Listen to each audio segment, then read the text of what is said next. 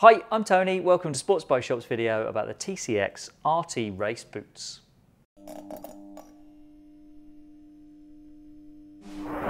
Often you have to compromise quite a bit on comfort to get a high level of protection from boots, but with these I don't think that's the case. The TCX RT Race Boots have been around for quite a while now and I've found they deliver both comfort and protection at the same time.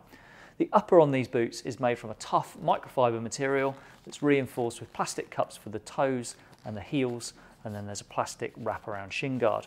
There's a plastic overlaid gear shift protector that takes the sting out of any stiff gear changes, and then there's a suede-like material on the inner surface that gives better grip against the inner surface of your bike. The toe sliders, they're plastic, but they seem pretty durable, and the mounting screw is around the front of the boot where it sits in a recess, so you shouldn't have any trouble removing a worn slider. But the real standout piece of protection on these boots comes from the ankle bracing. It's this rigid structure that encases the ankle and it only allows it to flex on its natural path.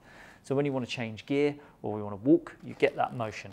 But if you have an accident, it won't allow your ankle to flex laterally, which helps you avoid ankle injuries. It's able to pivot at both the calf and the heel for good flexibility and it's actually surprisingly comfortable. Sometimes braces like this feel very restrictive when you're walking around, but this one doesn't feel like that and it also doesn't cause me any rubbing issues against my ankle which other boots have. These boots open up pretty wide actually thanks to the zip opening. I wore the same size that I would normally and it was a bit of a tight squeeze to get my feet in there but once they were in the boots were very comfortable. So to fasten them up there are three stages to that. This speed lace system pulls the inner section of the boot tight and holds it in place around your ankle. Then you do the zip back up and then finally there's this toothed clasp around the top. These aren't the speediest boots to put on, but I've spent quite a bit of time in a couple of different pairs and now it takes me about 30 seconds to put on both boots.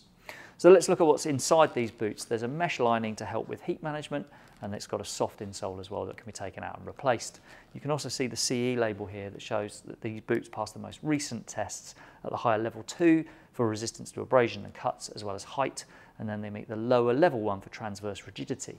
Now I find that quite surprising as the soles on these boots feel stiff and they give good feedback on the pegs so the performance in that test doesn't actually cause me any particular concern.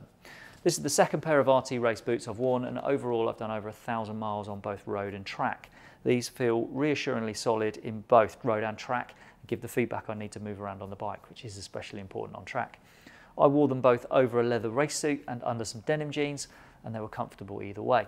Sometimes the top edge of a race boot is uncomfortable when it's worn against the skin, but that wasn't the case with these. They are relatively bulky around the top, around the calf, so fitting them under denims was tricky, but I was able to manage it. The soles are stiff, like I said, which is how I like my boots to be, but the insoles have a good level of squish, so they're really comfortable to wear off the bike as well. They're not particularly well ventilated though, I have to say. There are some small mesh panels on the shin, but they can get pretty warm on the inside. I wore these on track when it was in the low to mid 20 degrees and my feet were pretty warm afterwards, although I have to say I didn't really notice that while I was riding. So if you're looking to ride in red hot temperatures all the time, then I'd say a pair of TCX's RT Race Pro Air boots, which have perforated uppers, might be a better bet. In terms of customer feedback, 26 customers have left reviews of these boots and 23 of those people gave the boots the maximum five stars. So if there are any issues that crop up regularly, some people say the sizing comes up small. Personally, I wore the same size as I do in virtually all other shoes and boots, but they are snug fitting. So people who prefer a looser fit or want to leave some room for thick socks will probably want to go up a size. The other thing that comes through from those reviews is the squeaking noise. The plastic on the Achilles section of these boots does make a noise as it moves within its housing. Really, that's just par for the course on a boot like this. Though if you can get your hands on a pot of silicone oil, it's the sort of stuff that comes with Shoei or an Arai lids, and a smear of that on the bracing will lubricate that and alleviate the squeak.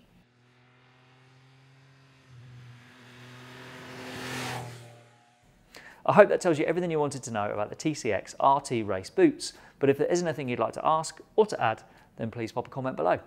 Thanks for watching.